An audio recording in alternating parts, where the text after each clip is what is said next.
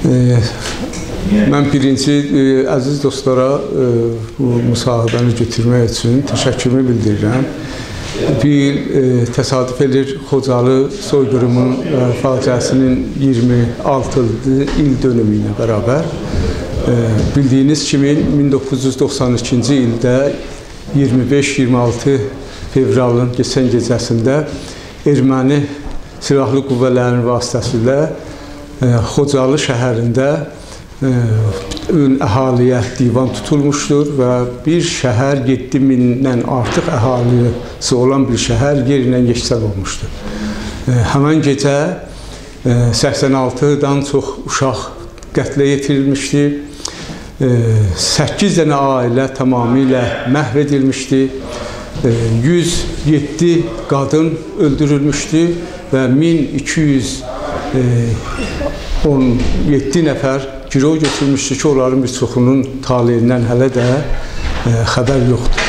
Biz belə bir dəhşətli və analogu olmayan e, genosidi, soyqırımı Avropada yaşayan Azərbaycanlılar kimi, Qarabağ Cəmiyyətinin təsisçisi kimi, Güney Azərbaycan Konqresinin birinci məhsulu kimi dəfələrlə Avropa ölkələrinin Xarici İşlər Nazirliyinə, media tərəfdarlarına, ölkələrin parlament deputat nümayəndələrinə və QET fəaliyyət göstərən təşkilatlara xəbər vermişik və istəmişik ki, ermənilərin bu insan tamamilə insanlığa qarşı etdikləri qətlam məhkum edilsin və xəsarət görənlər tamamilə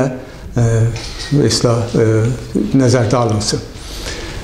Mən İsveçdə yaşadığım üçün və biz bu məsələni dəfələrcə məsələ, dövlət orqanları ilə və digər institutlarla araya qoyduğumuz üçün Yuridisk İnstitut adında Stokholmda universitet var. Orada dövlətin qərarı ilə bir elmi komitə yarandı və soyqırımlara və yetişmək üçün, araşdırmaq üçün bu təşkil olunmuşdur.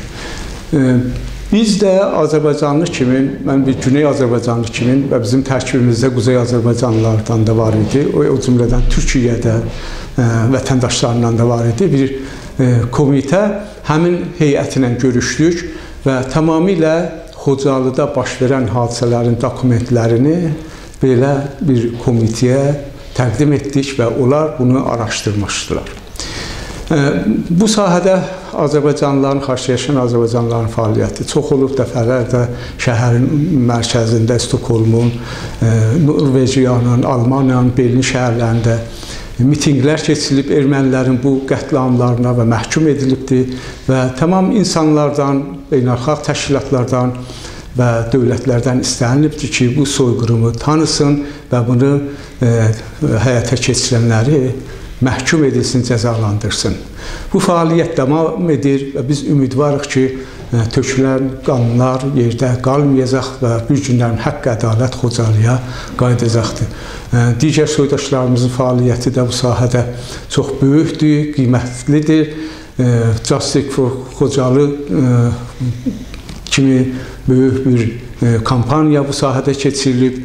Həmişə imzalar Güney Azərbaycanın özündə, İranda deyə türklər yaşayanlar həmişə bu məsələyə biganə qalmayıblar və onlar da Xocalı məsələsini həmişə gündəmdə saxlayıblar.